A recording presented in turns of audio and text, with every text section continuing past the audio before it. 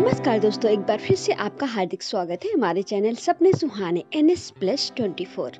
और दोस्तों, आज हम बात करने वाले हैं, यदि आपके घर में बिल्ली बच्चे देती है तो इसका क्या संकेत माना जाता है?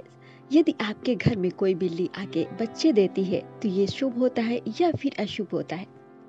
शास्त्रों के अनुसार, घर में बिल्ली का बच्चे देना कैसा माना जाता है? ये शुभ संकेत होता है या फिर अशुभ माना जाता है? तो आइए दोस्तों जानते हैं। बिल्ली को अक्सर लोग अशुभ मानते हैं, जैसे कि बिल्ली का रास्ता काट जाना या फिर घर में बिल्ली का रोना। काफ़ी बुरा माना जाता है।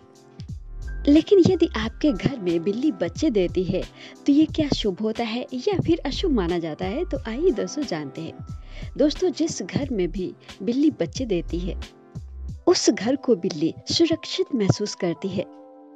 उस घर में नकारात्मक ऊर्जा नहीं होती है। शास्त्रों के अनुसार घर में बिल्ली का बच्चे देना शुभ माना जाता है।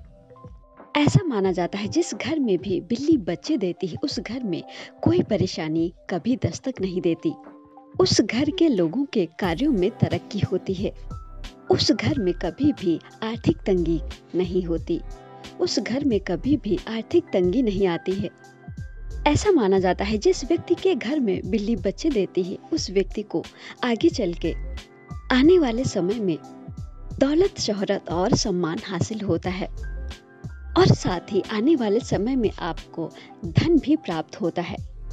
इसलिए कभी भी यदि आपके घर में बिल्ली बच्चे देती है तो उसे नुकसान बिल्कुल ना पहुँचाए।